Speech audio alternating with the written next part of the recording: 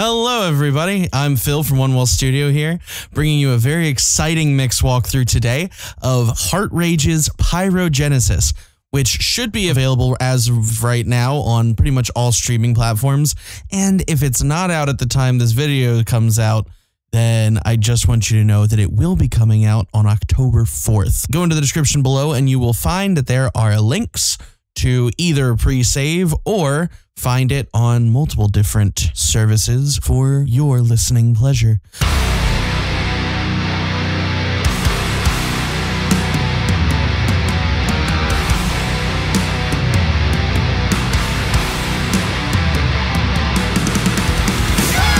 This song was written by my friend Constantin, whose band name is HeartRage. The, the entire song was mixed by me, and it was mastered by Tony Lindgren at Fascination Street Studios. So I, for one, am extremely excited to have worked on a track that got mastered at Fascination Street. With that in mind, let us jump straight into this track. So, first thing you'll notice is that it's actually a pretty massive session with lots of tracks, some of which I didn't use the DIs of because I thought the tones were perfect.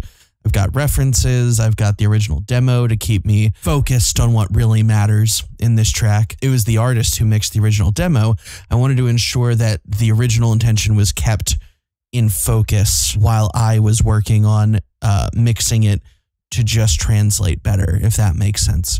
So, first things first, let's give it a little bit of listen from here, this little fun part right here.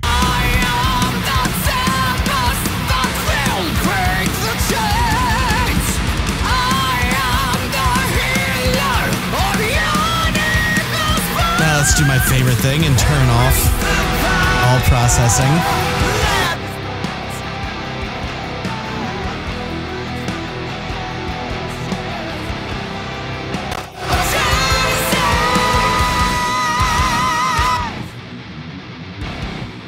So, first things first, let's jump into the drums because I'm a big fan of how the drums came out. So, I happen to know for a fact that the drums that were being utilized were actually Krimh drums from Jens Bogren, who coincidentally works at Fascination Street Studios. My geeking aside, let's jump into these cymbals because I really like how they sound by default.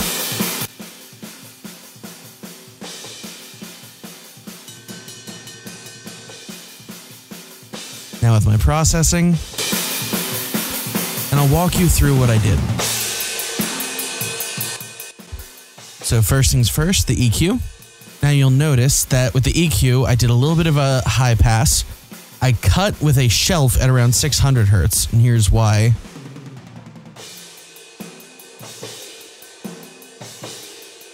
You hear a lot of the the body of the drums in the room. And if you get rid of it, it lets the cymbals come up a little bit and pushes the shells down just a tiny bit. And there's a reason for that. Now, I also removed these resonances with relatively musical cuts.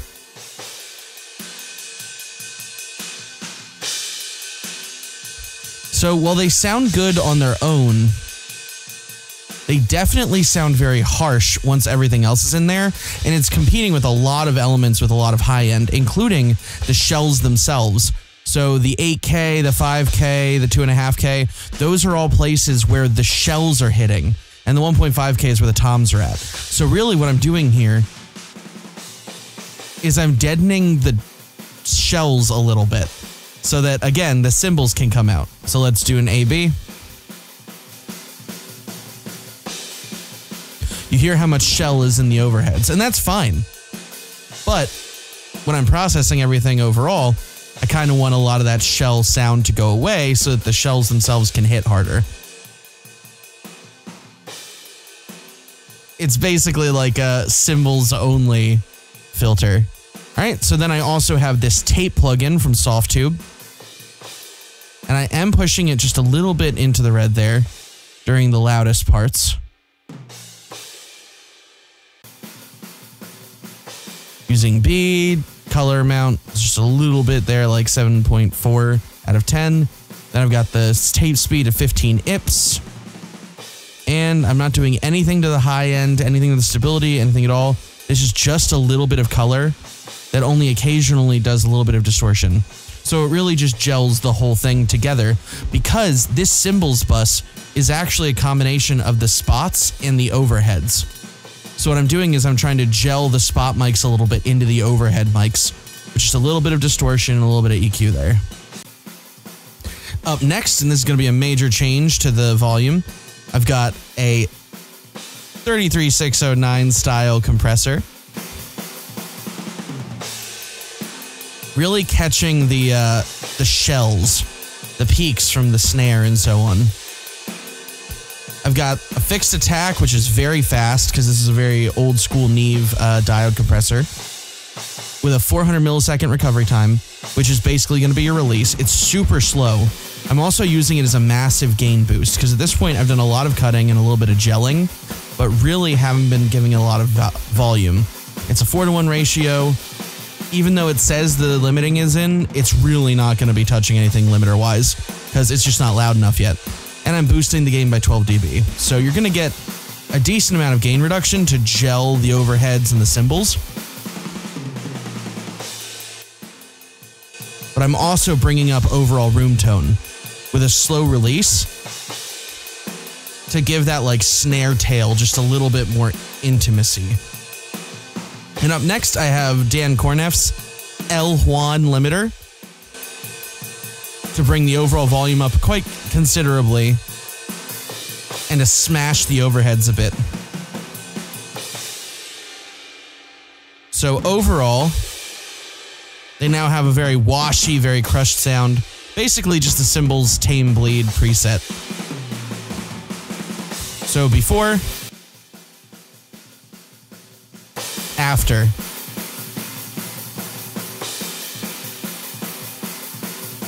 Notice how you now have a lot of the ring of the room and the shells and the cymbals kind of working together, as opposed to, for example, if I didn't have the EQ, that's a lot of shell.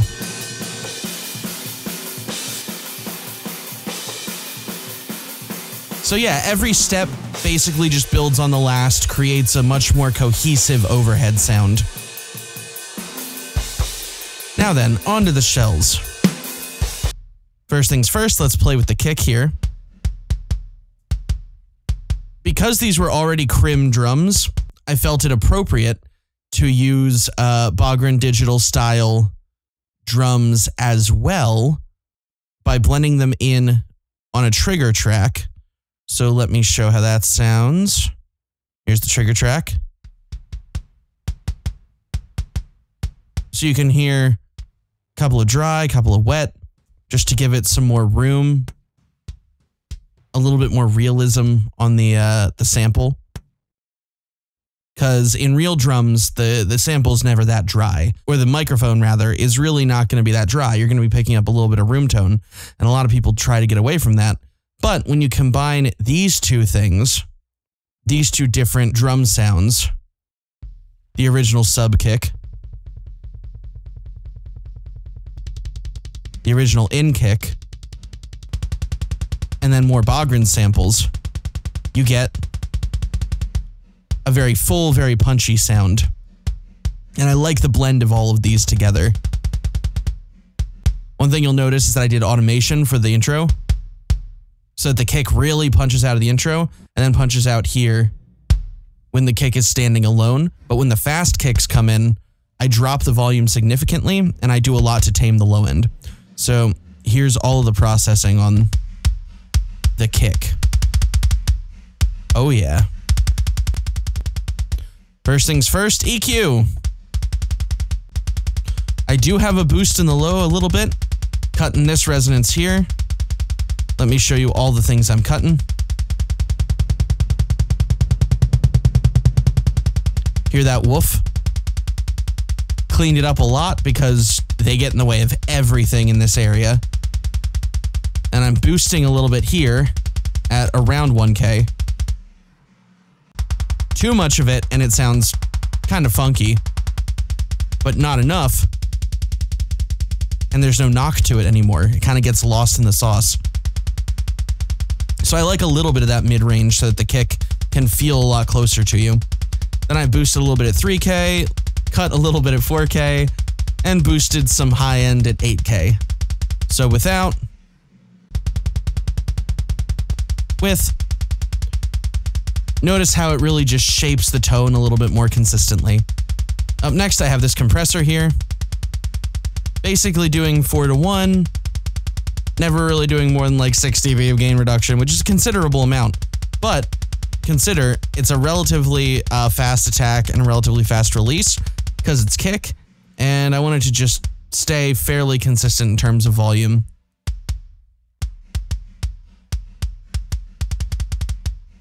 After that compressor, I have Saturn doing some saturation, mostly in this band here between 800 hertz and 2K. This band right here, that's that knock that I was trying to isolate with the EQ a little bit, but I'm driving it a lot harder with a tape distortion and also the high end with tape distortion. Hear that click come back into focus? There's a little bit of tape distortion on everything and a lot of uh, carving out of that sub 100 here.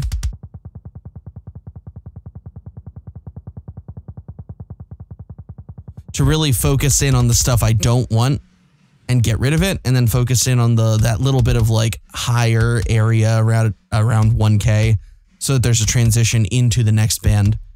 So Saturn makes a huge difference on this one. Notice how it almost comes like closer to you. I really want that kick to be present throughout the whole song because you don't want the kick work to get lost. It is really good kick work. And I have a little bit of multi-band compression being done here. Never really doing more than like 1 or 2 dB on the really long parts with a slow attack and a slow release so that when it hits hard, it doesn't really clamp down until after the transient. But then during the long sections, it's controlling and taming that low end a lot more. Without it, it's a much more consistent rumble almost. But with, you can bring up everything else in volume and get more of the click without as much of the rumble being as uh, powerful. Because rumble gets distracting very quickly in a track with as much low end content as this. Lastly, I have JST clip, just clipping the track. Three or four dB, but it's not really because the uh, output isn't really peaking there. I'm really more or less clipping like one dB off the top. Yeah. So one to two dB of actual clipping, and then the trim set at negative one. And that's the kick drum without, with without, with. Now that that's set, let's go on to the snare. Snare, same deal. I was mostly using Bogren Digital samples and one Mixwave Luke Holland top sample. So you can actually hear in the trigger sample I used, there's plenty of room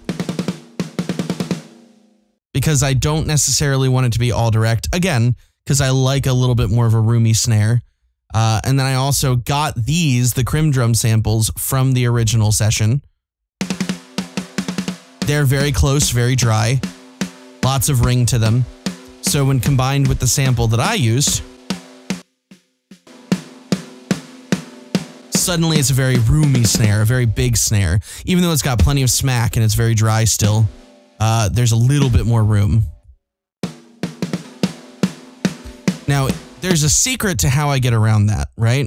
How it's not just a super drowned out snare the whole time.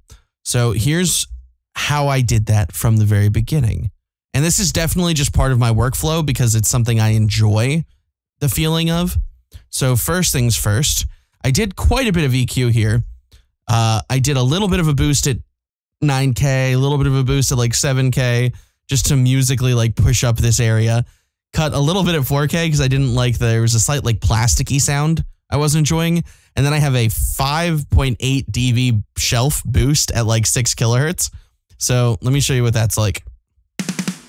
Cutting some of the resonance here at 500 hertz and 300 hertz because that rings really loud. Boosted a little bit over here with a resonant filter at like 185 hertz. Boosted some of this 1.5K so that it stands out in the mix, and a little bit of that 2K. Because without it, it just sounds so scooped. So you get a little bit more of that paper sound, but it also stays in your face. So between the kick and the snare, you've got this consistent mid range that can punch you, especially down the center. This 4K it might not have been super necessary. However, there was a ring there, like a papery sustain that I didn't like. And then, of course, if I were to just get rid of these, where'd all the high end go? So there we go, a nice punchy, cracky snare. And to top it off, regular compression, really just taming it so that it doesn't like go too hard, especially on these sections that have little fast uh, rolls. It brings them down a little bit more because I have that slower release of like 100 milliseconds. So you have a little bit more push and pull on the compression, and it kind of helps uh, even out the post transient sustain or decay. Notice how it almost focuses the transient because it hits after 25 milliseconds and then pulls away. So it creates this like hit, suck, release. I really like that effect on snare, and it makes me feel like it, it makes the snare sound punchier without actually doing much to it. It's almost like a psychoacoustic punchiness. So here's Saturn. The difference it made was immense. So I did push a little bit of tape drive on the, the low end, everything below like 340 hertz, 360. Really EQ'd things differently on the, the band between 360 and 1K. Notice how I really shape it a lot more. And then here we have everything between 1K and 3K. This area actually, the secret is this little dynamics knob. So I actually reduced the sustain very aggressively on this mid band so that you still get that smack, but it doesn't last too long. Like, look at this. Hear that ring? Yeah, I didn't like that. So I sucked that ring out while still leaving the transient. And the same thing here.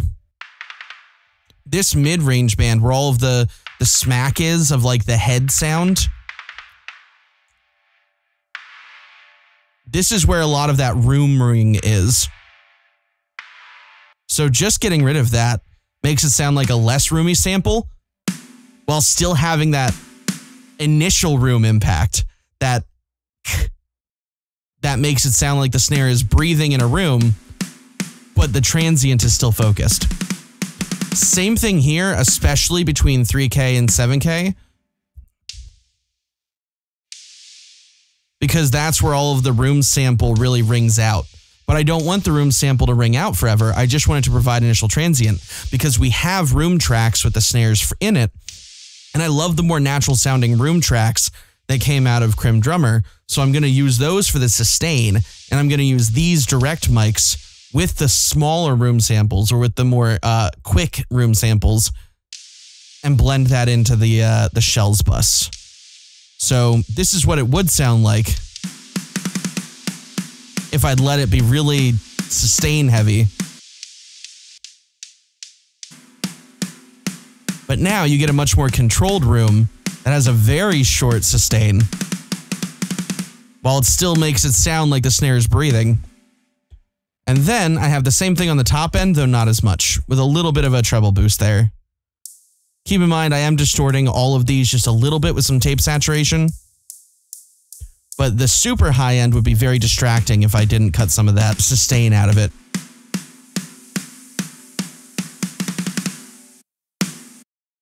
Notice how it just kind of rings? I don't like it. So without Saturn, it's very ringy. With no ring, a little bit of room sound, and lots of punch. Up next, I also have that low end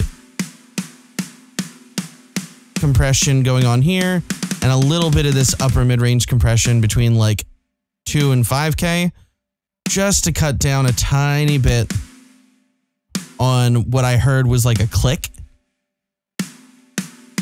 So that when it gets really bad, it just controls that click a little bit by like one and a half dB. And then the low end is a slow attack, slow release. So that if you start to do like a blast or some roll, it just tames that low end a little bit. Lastly, I have a clipper on it.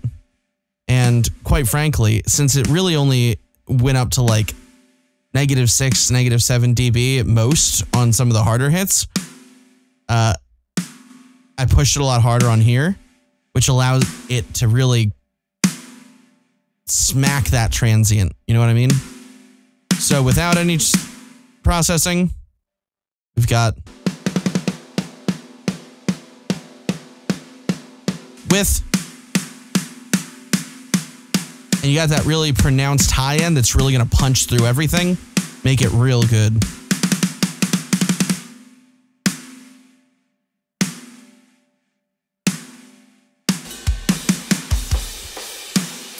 So now that we've got our kick and our snare basically queued up, let's get these toms going. Everybody loves toms. And I do really like these toms. They're very punchy. I didn't feel need to sample replace them or anything. I just did some processing. Oh, yeah. So, first things first, only a little bit of EQ necessary. Cut some 400 and some 700. Primarily because they had kind of like a like a fartiness to them almost, which they're really well recorded because I only needed to do a little bit of cutting. Also boosted a little bit here around 60 hertz just because I like how that low tom sounded with it. And I do like to process toms as a bus. So I boosted a little bit here for the for that tom for that head sound. A little bit of 5K and a little bit of 9K. If I were to cut them, eh, the toms just disappear. But if I boost them too much, it almost sounds ridiculous and unnatural. So for now, I'm going with the more natural sounding toms because I feel like they fit better in the mix. So Pro C2, I'm doing some compression. Same 25 millisecond attack as the other toms, as the uh, kick and the snare, but the release is uh, longer than both. Because that impact thing that the snare had going for it, I really like, but I also want this to be a little bit more graded if there's a lot of tom work going on. So I wanted to clamp down on it just a little bit so the toms don't get super out of hand. With Saturn, I'm really pushing the lows a little bit here. And really driving just the really highs and the really lows, just to give it a little bit more excitement. And of course, I'm boosting the top end a little bit here, just in the presence area. And not doing much else except also controlling this section. I'm giving it a little bit of that drive, but I'm also carving out some of the low, low mids and boosting a little bit more in that high area. So without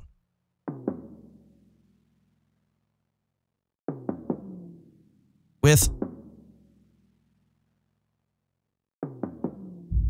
So it's all very subtle, but it's really just emphasizing the parts that I really liked from the EQ, but doing it with saturation instead of just EQ. I also have that low end control here so that when it goes real hard, or if there's like a roll,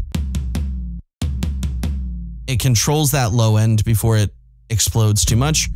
And again, just a clipper. Really only clipping some of the heavier transients so that it brings things up more consistently and saturates instead of limiting. So now you've got these punchy as heck toms, which are all just the stock Krimh toms, and I love them.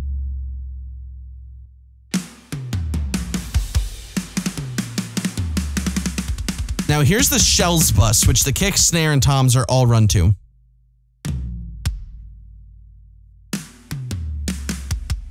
First things first, I have this tape machine that's actually saturating pretty hard, especially on the tom hits. I'm not doing anything besides just using the tape for a little bit of push. Very subtle, but I like how it smears the snare a little bit. I have this multi-band compressor controlling that low end while also boosting it. Again, slowish attack, but then relatively fast release and I'm multi-band compressing everything in the shells bus together.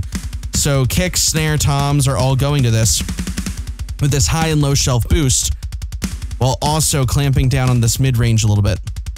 Listen to what happens if I don't clamp down on those. And with.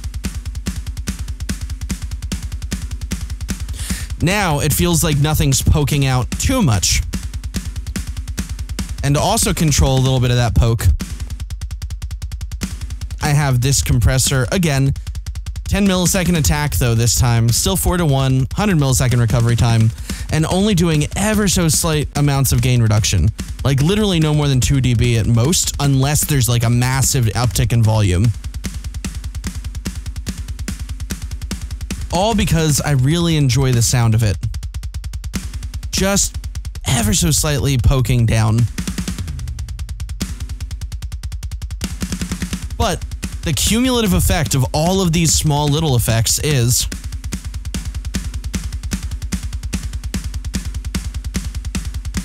Notice how without, it all feels way too forward.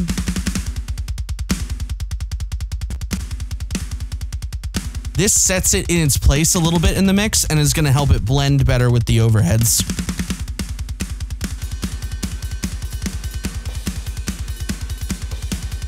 So, ear refresher from where we were before. And back. Cool, so I'd like to think we've made some positive progress. Up next is the entire drums bus. So, what this encapsulates is just the cymbals and the shells buses individually routed into this drum bus with a little bit of protection from a limiter, another compressor to help them gel a little bit, and the same exact thing I had before. So just some tape.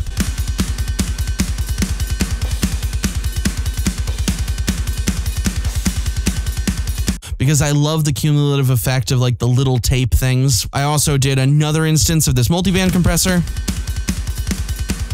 Same deal, but this time I really loosened up on the attack time and brought the release time even faster with again some more uh, range control of the low end.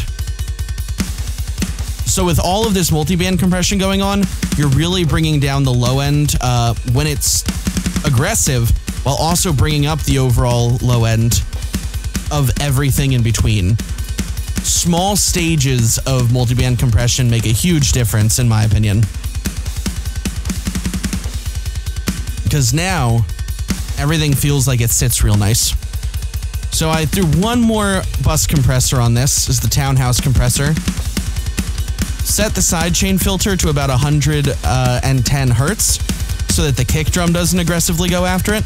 But with a ratio of 4 to 1 and an attack time of 30 milliseconds and a release of 100 milliseconds, I was able to get like 2 dB of compression and then makeup out of it to really blend everything nice. To bring up that overall aggression of the drums. And lastly, I used Pro L with a 1 millisecond attack time and a release of 1 second. Ordinarily, I wouldn't do something like that, but to be honest, it felt right almost. It almost felt to me like uh, side chaining the snare to the overheads because it brings everything down. So when the snare hits really hard, everything seems to move out of its way, and I love that feeling. This is actually more than I'd usually limit the drums, but it, it worked for this mix, so I liked it. Without. With. And now, my friends, it's at a point where it sits very nicely in the mix. Trust me, bro. So, on to the next part, we have these room tracks here, which were also baked out from Krimh Drums. So, these are basically just being designed to fit nicely behind the room, the real drum kit.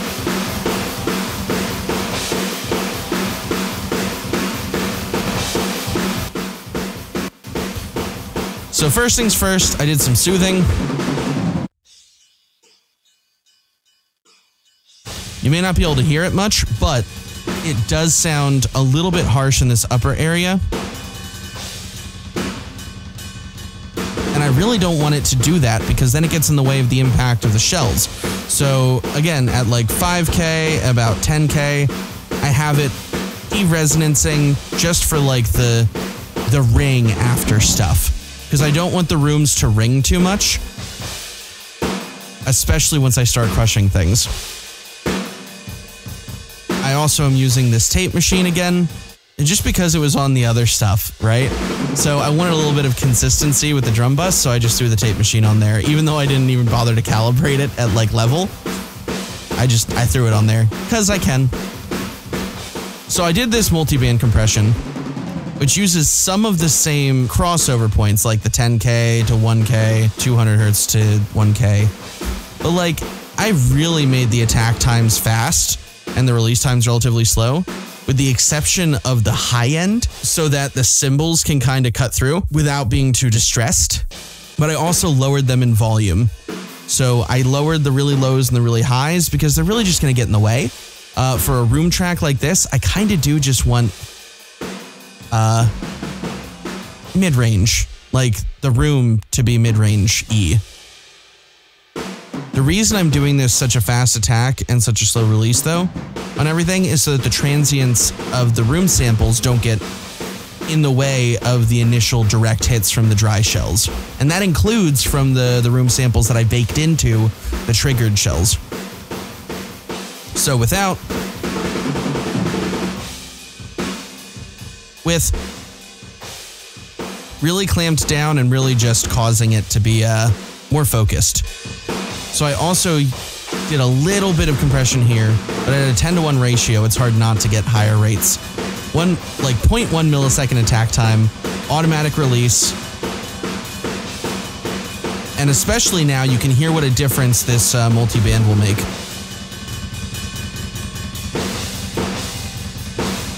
It sounds nice, but it won't fit behind the drums as well. Now it'll fit much nicer behind the drums. And then finally, I limited the crap out of it.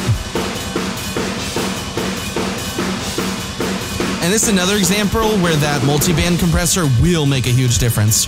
Without,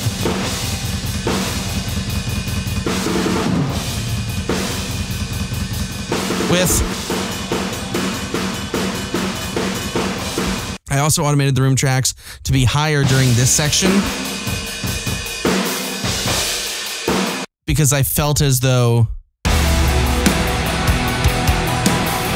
we really needed that for the uh, the first chorus because it gives it like an explosive room that just pops in and just sounds so good. I don't have more room for the rest of it because other elements start to take over throughout the song.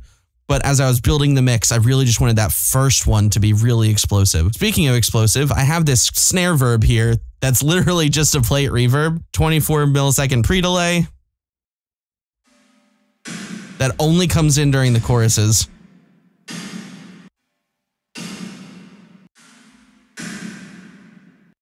Original snare, plate, that pre-delay helps it to not step over the initial attack of anything else because the one thing I really wanted in this track was to maintain very clean transients. I then smashed this chorus uh, snare reverb through a distressor with a very fast attack and a relatively slow release, 4 to 1, some saturation, some warmth. Without the saturation, it's a very clean compression with a little bit of distortion. With that saturation and warmth, it's really just shelving off the highs a little bit to give it more upper mid focus. Again, don't want to get in the way of like the rooms. And the saturation just distorts it ever so slightly. And then I smashed it with a limiter. To give it like an explosive feel, but also to cut down on that initial transient so that it blends way better with the real snare.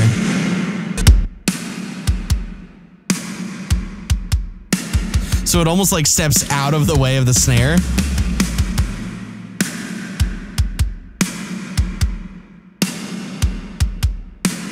Without that, it almost feels like it still hits a little bit too aggressively with the snare, even though it's at a lower volume. This lets it come up in volume and give it an explosive chorus feel, while also letting the snare have an initial transient that actually sounds really good. So that's the snare verb that only exists during the chorus. Up next, I have this parallel compression going on, which is really just the shells boosting up here in the highs to give it more click, compressing it, letting the initial transient through, and then releasing relatively fast, giving it some saturation and warmth again. It's a 10 to 1 ratio on a distressor. And then we have this limiter here doing this uh, pretty fast smash, actually.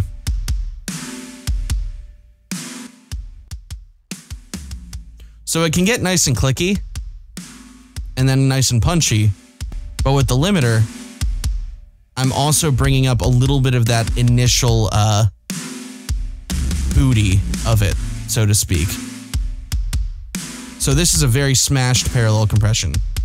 But with that,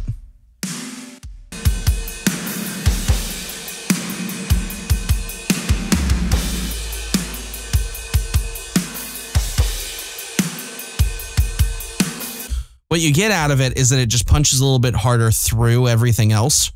So once all of the guitars and uh, layers of orchestration are there, that little bit of parallel compression on the the drum shells, even at negative 30 dB, are still going to be making a huge difference in how it translates across systems, especially smaller systems. Up next, I have the Krimh drums themselves. I actually did take the MIDI for it. And I used it as a source for the trigger files, uh, for the trigger with the MIDI here. But I also just smashed it a little bit. So this is basically another parallel compression, but with like the original drum sampler. I just didn't bother to get rid of it because I didn't feel the need to. So it was just sitting there like negative 32 dB. No big deal. It's the same thing, but at least it sounds good in context. So up next, I have the bass tracks. So these sounded really good. And originally, I didn't use the DI at all, but eventually, uh, I was asked for more grit. So I just used the DI with Audio Assault Clank, pushed the drive, really high passed it, uh, pushed up the mids and the treble a lot, made it a harsh circuit, kept the default cab, and didn't do anything else. So this is just purely crushing the the signal of the DI.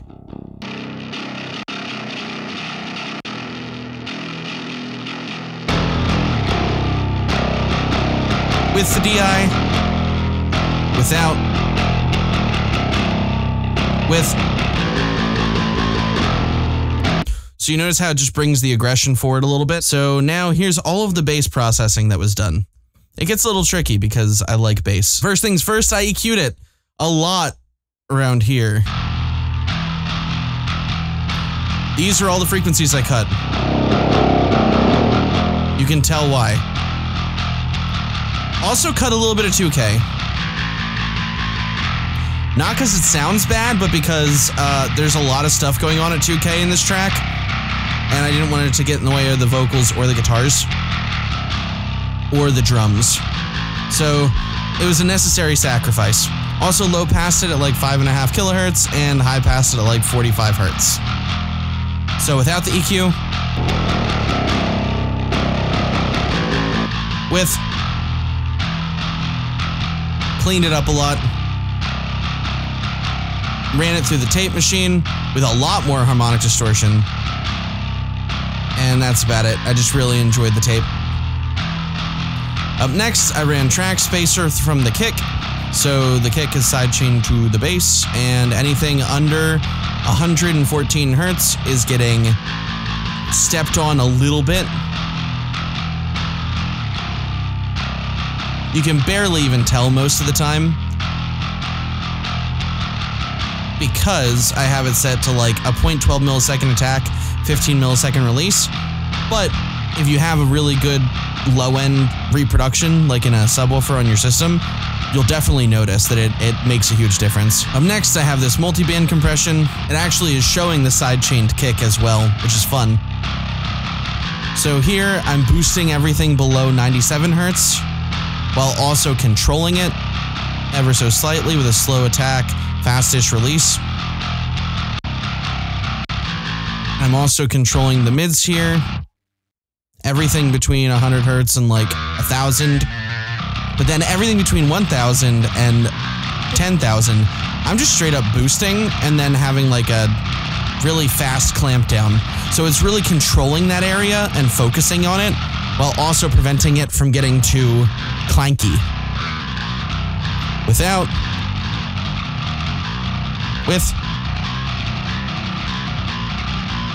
helps it sit a little bit nicer in the mix. And then I also did an overall compression, saturated it even harder. Fastest attack, fast-ish release, 4 to 1. Basically doing an 1176 style, but with a distressor. Bringing some of that rumble in there. And then I limited it but not actually super hard, just a little bit, just to get it up to level. Fast attack, slowish release, and a dynamic style.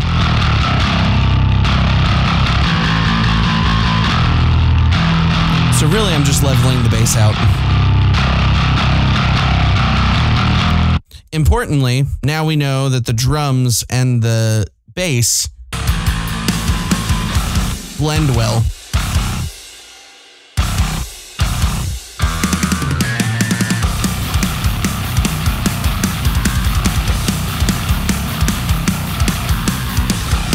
I love that drum and bass section. Up next, we have these rhythm guitars, which sounded great out of the gate.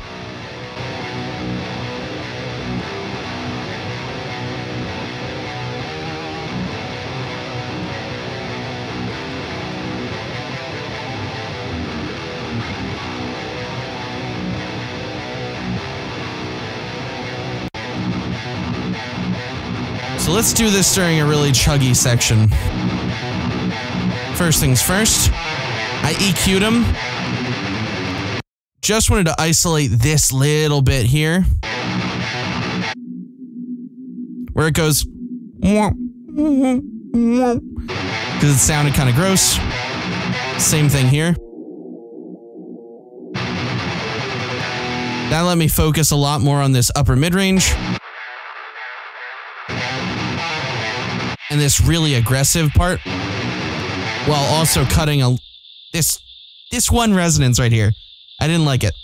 If I increased it, it'd get annoying quick. But everything around it sounded great.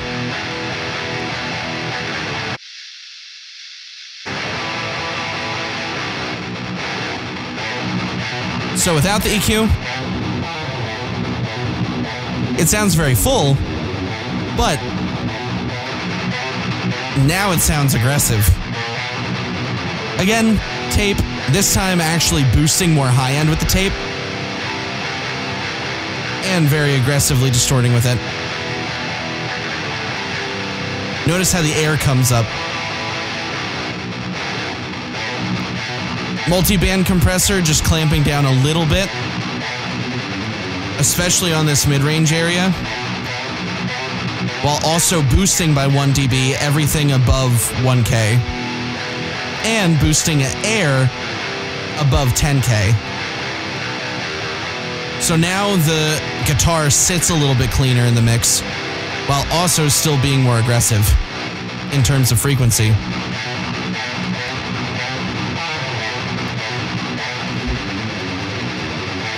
You may not like how it sounds in solo, but once you're in the mix, it'll definitely breathe a lot more with the drums and bass.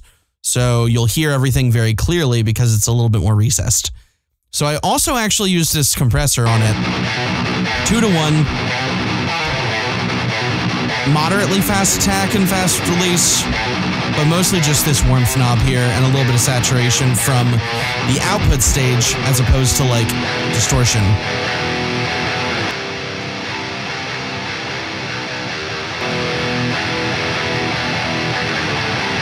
That really pushes the mids back up a little bit and gives it a little bit more focus. And here is the limiter.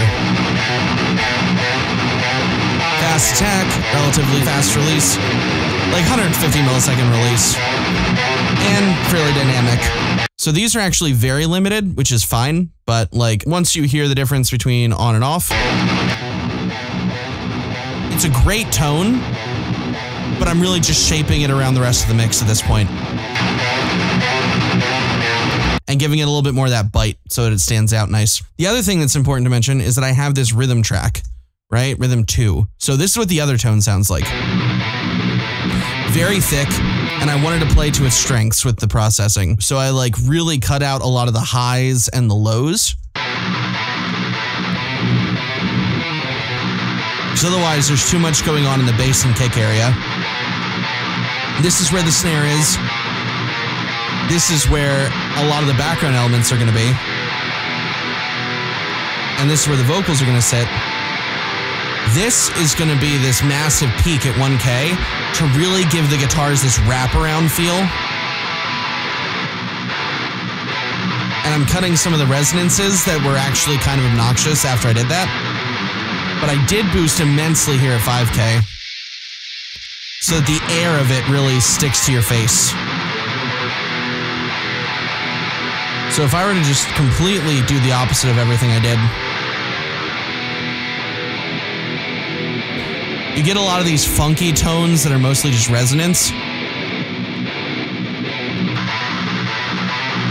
And I know that sounds extreme because it is, but believe me, you'll hear it later. Now, tape, very aggressively distorting, very aggressively boosting the highs. I almost want it to be like chainsaw in that top end. Multi-band compression,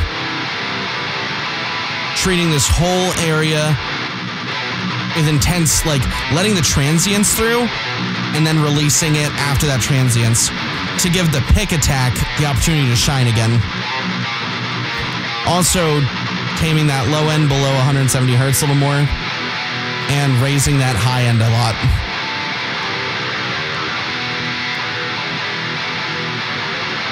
So now it's a little bit more controlled, but a lot more pick attacky. And then here's the distressor again. Same settings as the other one. I just really like the distortion of it. And limiter.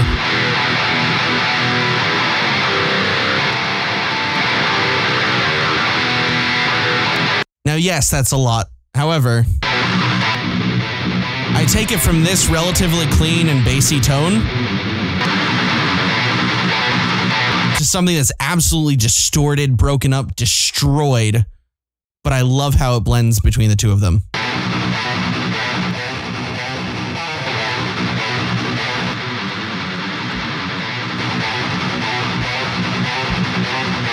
Notice how they just sound massive now. They like super fill each other up. Let's go from there like I said, a lot of layers here. Here's the first thing I did with the solo guitar, which sounds great, by the way.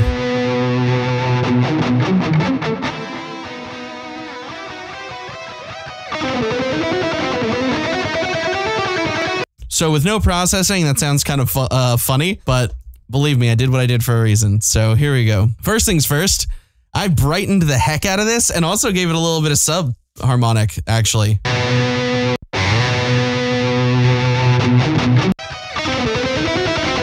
Without. With. Because I really wanted that pick attack to come out. So, in the interest of that, I also boosted a lot around 1K cut a whole bunch of this stuff around here where the the background elements are really taking over, like everything from 300 hertz to like 700 hertz is going to have a lot of that background stuff. And I keep referring to the background stuff. I mean like the orchestration. Big old boost at five and a half K, a little bit of a, a low pass at like 12K. And then I'm high passing it all the way up to like 170 hertz. Sometimes I don't go that aggressive, but for this one, it was already a very thick tone.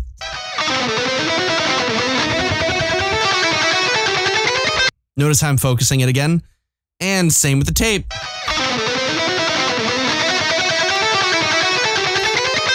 Very aggressively hitting the distortion on the tape. This is the total harmonic distortion meter, by the way, now. So it's like in the red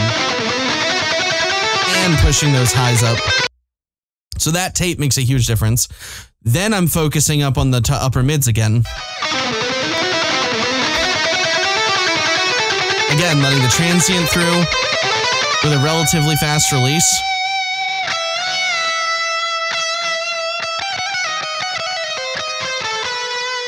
Because I still wanted that to be like articulated all the way to the end, even though I want to control the parts where it gets really gnarly. I love the parts in the beginning when it's super dark.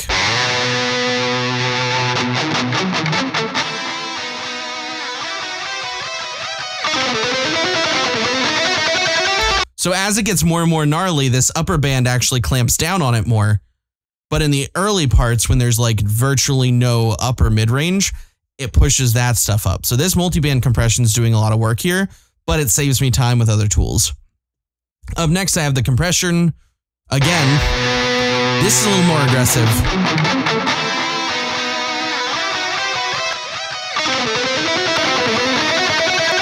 But like, I love this compressor because it really does bring out a lot of that lower mid range stuff that I've been scooping out and just like saturates from the low end to bring some of that back.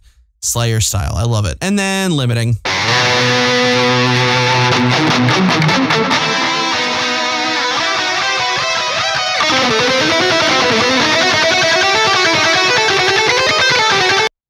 So that combined with everything else so far.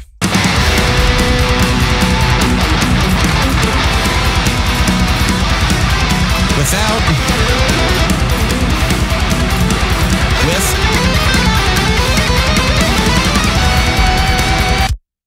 I love it so much. All right, so there's also a lead guitar part that plays during the choruses. It's actually two different sections, panned about 50% left and 50% right. On the left, I put this delay to make it feel like there was more going on than there is.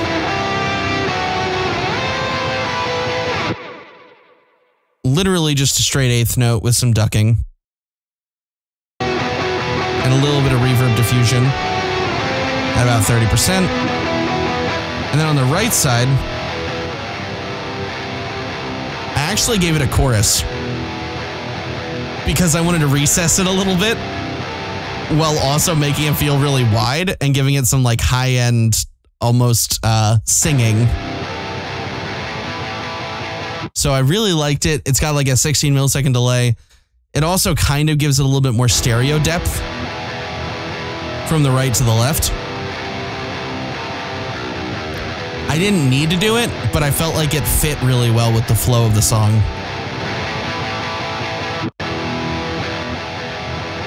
And it's just one less very dry guitar, you know?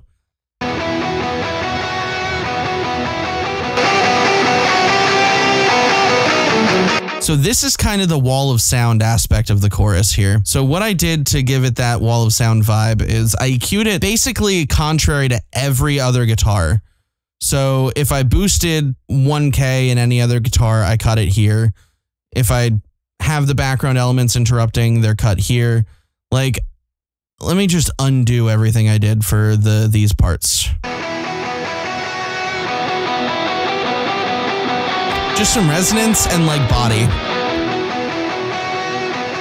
This is a background element for the choruses. And then we've got the tape. Again, driving it pretty hard. Not boosting anything this time, but still driving it pretty hard. And the multi-band compression is very isolating. Pulling out all this anything from like 250 hertz all the way up to like 3K is clamped down so as to avoid stepping on any of the other chorus elements while also increasing the air so you feel it more than you hear it. Just a little bit of compression on this one. And limiting.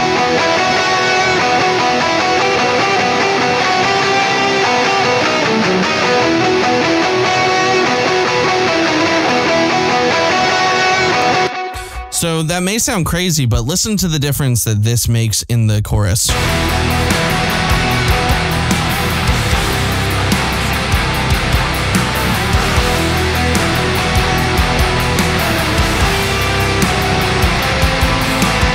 Notice how, even though it's more centered, it feels like it's around you somewhere. Like it's in your stereo field, but like it's almost less placeable because it's got this ethereal feel to it that's simultaneously recessed and also peaking around the edges. And a lot of that is just due to the EQ and multiband compression choices of making it sit behind the mix almost, while also peeking out over the top of it with this high shelf and a little bit of that like 8K. So it almost feels like when the snare hits, especially.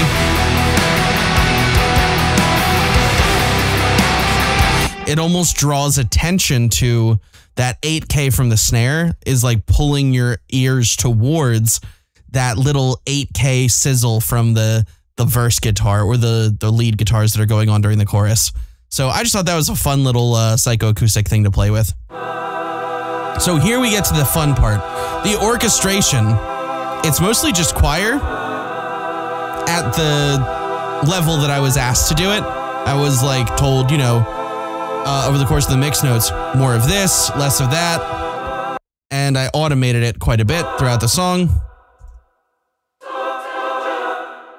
Now, this sounds nice, but it needs to sound epic. So, first thing I did was, again, this Clarisonics, which is like a saturator and harmonic exciter. Give it a little more of that clarity and a little bit more of that subsonic frequency. Then boosted some of the places I've been cutting from the other stuff, with the exception of the vocals here. The vocal ranges here, so that the main vocals can go over them. But like down here at the 400 hertz ish area, I did boost, and I boosted a lot of this air frequency up here.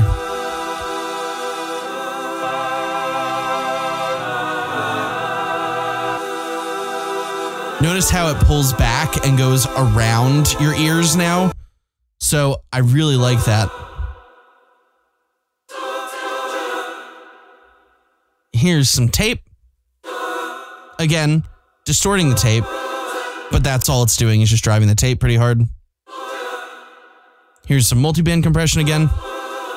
Just so that when everything hits at different times, it clamps down on the stuff that's the most intimate while letting the air through so that if any part gets pretty aggressive, this will keep it in line. The cumulative difference of the EQ and the multiband compression, this eats up a lot of headroom in the mix, this area here.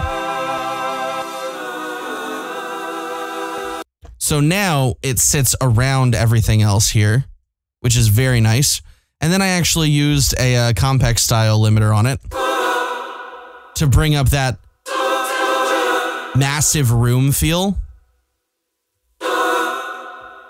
with a two to one ratio and a very fast release and about a 2.5 millisecond attack time, you can really hear the decay. And then, of course, I limited the whole bus.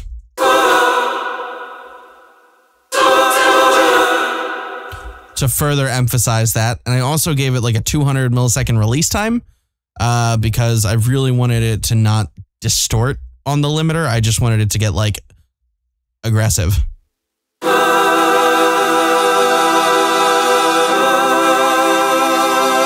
So these are really smashed because it's it's the main chorus elements, you know? Like I wanted it to to really stand out, especially during this breakdown.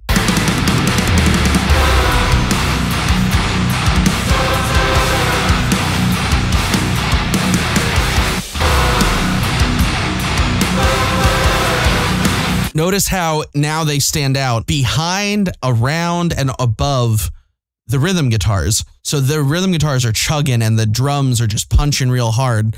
And now you have all this orchestration that sits really well behind and around them. And the vocals are still going to be able to punch out. That's what a lot of this uh, tight EQ and multiband compression is helping me do is just make sure that everything has a space where everything else plays nicely. After that, I actually did the SFX bus, which is really simple stuff, right? So this is all the impacts and the whooshes and the the crazy fun things that people love to play with uh, as you know post production. So what I did was I don't like to waste a lot of time when I mix, so I gave everything that was SFX to this SFX bus, just gain staged it, uh, dropped some clip volume, listened for what was doing what, did some panning stuff to give things like a feeling of movement. Some of it's baked in, some of the envelopes I actually left visible, but I, I closed a lot of them. So this was mostly just a lot of fun stuff. And a lot of it wasn't standing out against the now very aggressive mix. So I used this harmonic enricher again, or harmonic exciter, to increase the clarity, which is just the high end. Notice how is much punchier than now it almost feels like a smack. I also did a lot of the same filter control because a lot of people don't realize uh, SFX takes up a lot of spectral area, uh, especially with varied and diverse spectral uh, content. So everything from these risers to impacts, slams, cuts, all of it. I wanted to give it similar sonic area, so I boosted up around here at like 12K.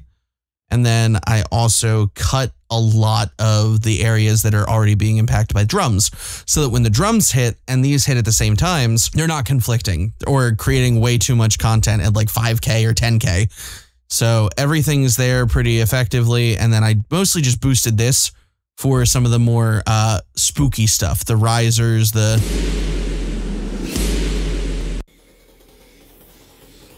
the tonally cool stuff.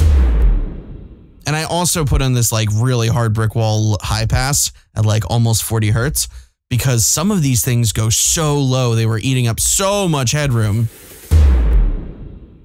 So to cut that at the bottom, I I made sure uh, that when they hit, they weren't gonna just make the whole mix pump. From there, more tape, you know it. Yeah. And then multiband compression. Again, this time it's relatively tame multiband compression just to even out the differences between all these disparate textures and impacts.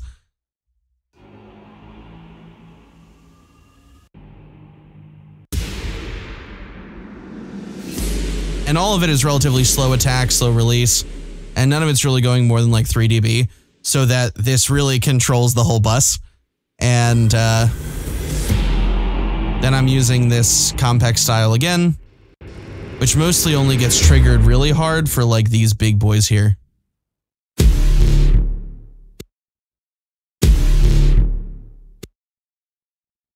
Fifty millisecond release, 25 millisecond attack time. Again, I'm just trying to massage things. And then here's the limiting.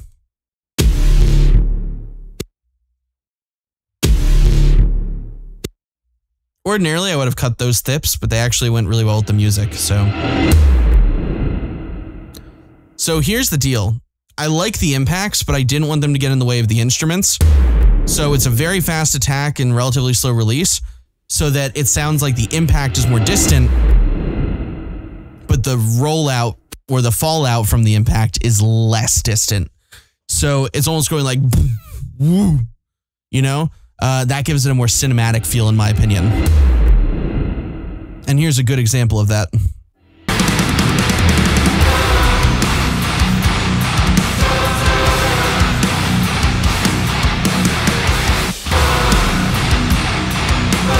So you can still feel it and hear it and feel as it goes boo. But the instruments are doing the actual transient work.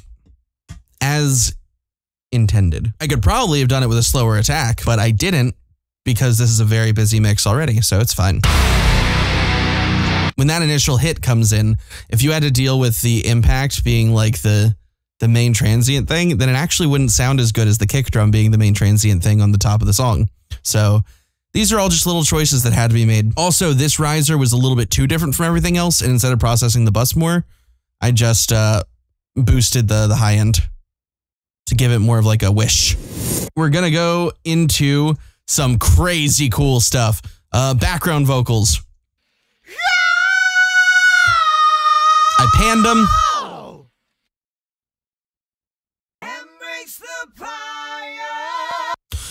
Here's where I get into the secret of uh, vocals, right? On every single one of these, I threw an optical style compressor. Embrace the fire, let the sparks ignite the night. With more of an LA2A style timing, because I'll be honest, I actually don't record vocals anymore without really using a uh, an optical compressor on the way in. So I treated each of these tracks as if they had an opto on the way in. And so from this point on, all of these tracks have opto compression on them. So I'm not even going to bother pretending like I did anything more than just drag those on to give them a little bit more uh, consistency and volume level the way I like it. That's just purely a preference thing. So now I'm going to treat all of these as background vocals in the bus, starting with EQ. So first things first. The fire. I boosted it at 700 hertz because I've cut it everywhere else in the song, waiting for this exact moment for the background vocals to be here because I love how these vocals sound and I really want them to shine at this one specific like that very musical sounding area, right? If I cut it too much, the background vocals just disappear. I also cut around here because this area is where the main vocals are going to be mostly primarily like the the main forward thrust of the vocals is going to be in that area. So I, I i didn't want that to interfere with them. Again i want these to wrap around the main vocals. I don't want them to take away from them. I also cut at around 8k because that's primarily where the sibilance is but also but also that's where the main vocal is going to have a lot of uh, push and then i boosted it like 10K by 7 dB because I wanted them to feel more airy. Embrace the fire, let the sparks ignite the night. Because there's really not much going up there, I really wanted to have a little bit more push there. Up next, a multiband compressor. This one I'm pretty much just using as like a tone, tone adjuster. Embrace the fire, let the sparks if I were to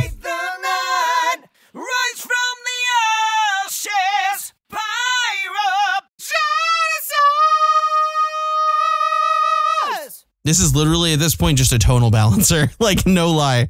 Uh, the attack is very fast on all of these bands here, and super fast up here just to catch some sibilance if necessary, while still boosting quite a significant amount. Uh, so this is like just shaping the tone to be more like this again, uh, because I like it but it's also less consistent with multiple tracks that go in and out. So having that multiband compression there isn't just another form of EQ, it's literally tonal control. Here I have the compression doing the vocal style, which again is probably just going to be four to one. Uh, literally doing the old super fast 1176 style thing. I'm not even going to deny it. This is basically just an 1176 preset.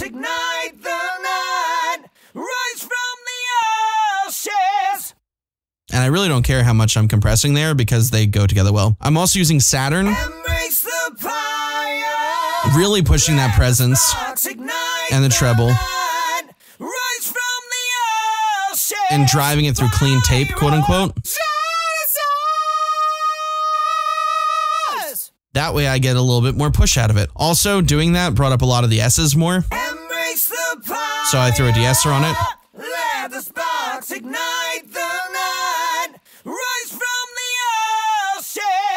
So now the background vocals are lispy, but I don't want them to be aggressive on the S's. Here's the delay. Eighth note straight. Little bit of ducking, scooped out where the main vocals are. Boosted around 4.5K, where I haven't boosted pretty much anything else. And high pass at 230 hertz, low pass at 6K. So now you've just got this pretty like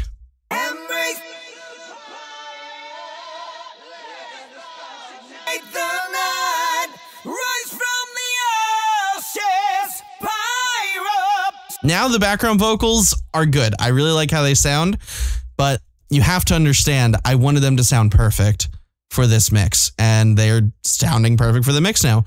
Also, I limited them. Embrace the fire, let the sparks ignite the night. a very aggressive limiter to give it a little bit more breakup because I use clean tape on the Saturn as opposed to like a more aggressive one. So I'm doing more aggressive limiting on it.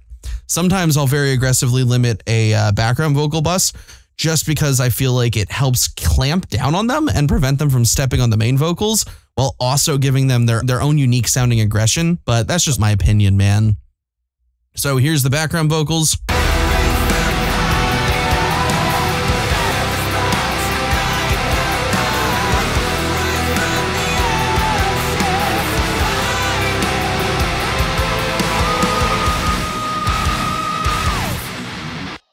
So you notice how they sit just slightly above the mix? That's the point.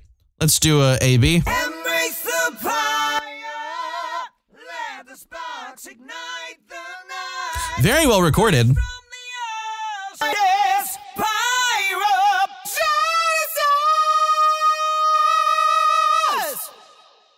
But now they are very punchy and in your face and warm and wonderful and bright and ugh, I love those vocals. All right, on to the main vocals because I could go on forever about these vocals. Did a decent amount of automation throughout the song, but thankfully it was mostly just one or two tracks the whole time, uh, alternating. So I, I appreciate that.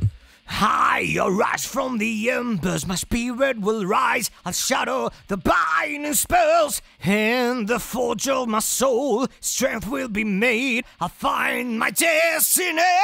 I am the basically just cut this 700 with a dynamic EQ of about like 3 dB, primarily because that's where the background vocals are going to be. And I don't want this stepping all over the background vocals. I know that sounds silly because they're background vocals for a reason, right?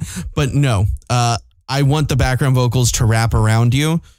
And that to do that, they need their own space. And that space is six to 800 hertz for me. high arise from the Also just brightening a little bit at, like, 6K and a little shelf at 8K and above. the forge of my soul. Strength will be made. I'll find my destiny. Now it feels a lot more forward, a lot more like, oh, this is intimate. It's a close performance. Again, tonal shaping with the multiband.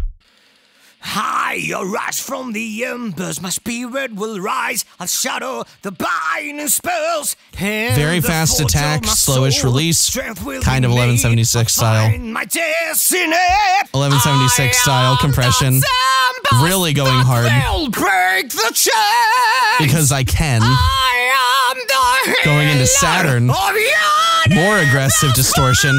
Embrace the fire. Notice how saturated that sounds? Ignite the night. Me too. Rise from the Hard drive on the warm ashes. tape, Boosting the presence, a little bit of the mid. Notice how much more distorted it sounds, right? Yeah, thought so. High De-esser. from the embers, my spirit will rise. I'll shadow the binding spells. Strength will be made. I'll find my destiny. So now I'm cutting down on the S's really aggressively because they were too much originally. And especially with the background vocals, sometimes the S's can be a little bit aggressive. So here's the uh, delay that I have on it. Very similar to the other one, but boosting the High frequencies I cut from the other.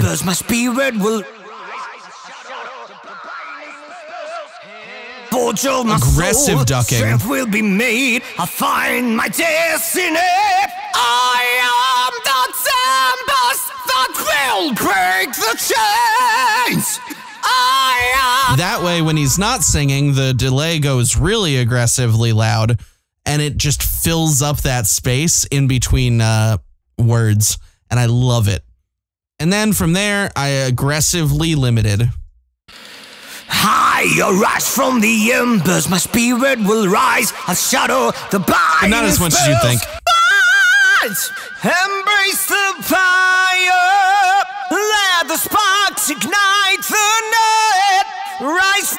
Notice how distorted that is and how distorted it sounds? But in context, I arise from the embers, my spirit will rise. I'll shadow the binding spells.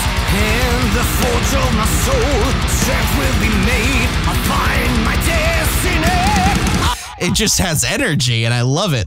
So, up next, I sent all of these things to a verb bus that I automated throughout the song, sometimes to be really, uh, really powerful, like in this opening.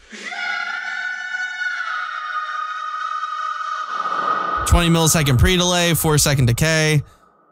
This multi band boy just cutting out all the lows below like 200 hertz almost, and then controlling the mid, low mids a little bit, controlling the high mids less, but cutting them down, uh, and then boosting the highs just give it some like space, man. Without. With. With the limiter. Fast attack, fast release. Uh, and then I also am doing sidechain compression. So the this vocal actually is causing the reverb to be ducked below it for 200 milliseconds every time it gets signal from the original signal. So this main vocal sent to the verb bus twice, once as the input signal and then once as the sidechain.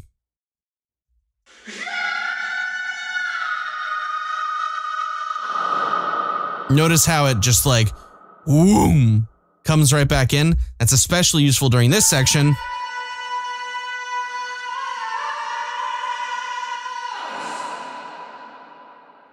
And hear it in context.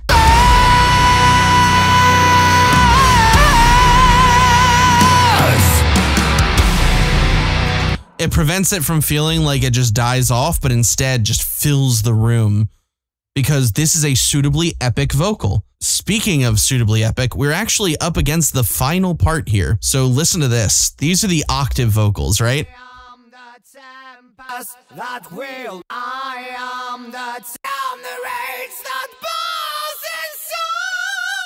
inside. So it's mostly low low octaves, right? Except for the end when it's very high and I love it. So these are actually kind of one of the more difficult boys to do. This EQ is kind of all over the place. I treated them exactly the same as the background vocals, but even more aggressively uh, scooped here with the dynamic range uh, being cut almost by 90 B at the very end. Feed on the rage that burns inside. And I had to do that because otherwise it peaked out over the song like immensely.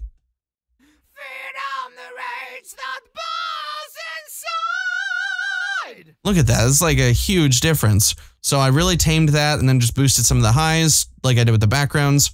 Multi-band compression, again, super controlling everything from 1K up to like 7K. Feed on the rage that burns inside. Because that is a very high uh, siren wail. Compression, Feed on the rage that 1176 style again.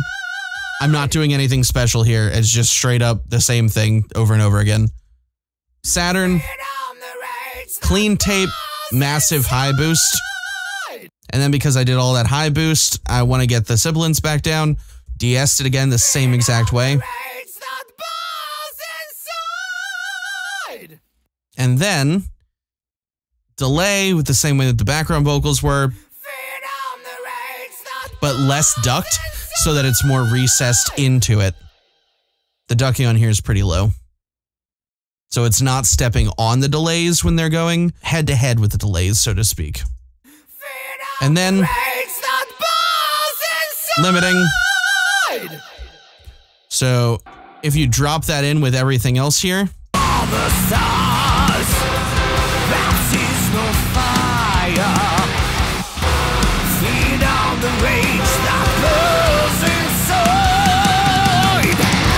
Notice how the main vocal still has precedence, but if I EQ turned off the EQ for the uh, octave vocals here.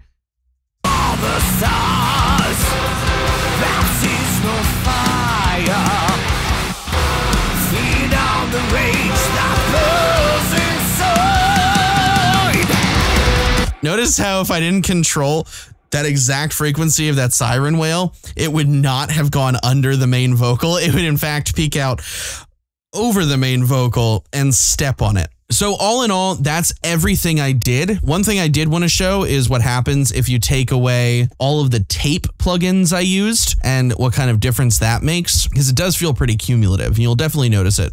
Reach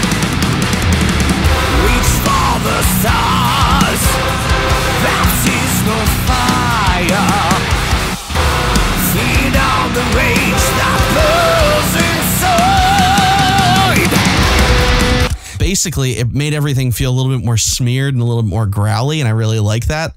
And also, I was using it as a high end boost on some of the stuff. So, like, the guitar tone definitely suffered from having the tape off, if only because it was also like a high boost. So, anyway, let's hear how this sounds the whole mix without any processing, and then I'll turn it all back on again.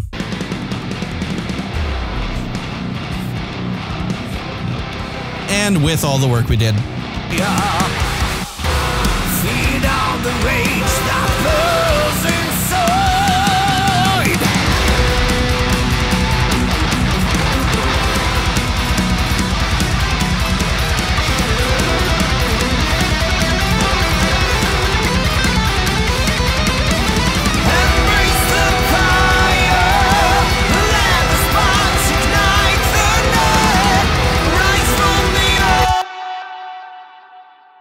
Anyway, I hope that was a very informative walkthrough for you. It definitely took me a while to mix this because there were so many layers and the production is just so good. I wanted to do as much little automation as I could to just make it like feel loved the whole way through. I hope you understand. Anyhow, my name is Phil from One Wall Studio. I mixed this track. If you want to check it out, check it out in the description. So give it a listen, pre-save if you still have that option. I'm Maybe Phil One later, but Studio. eventually it'll have a great day. And if I don't see you next time, then where the heck did you go? bye bye.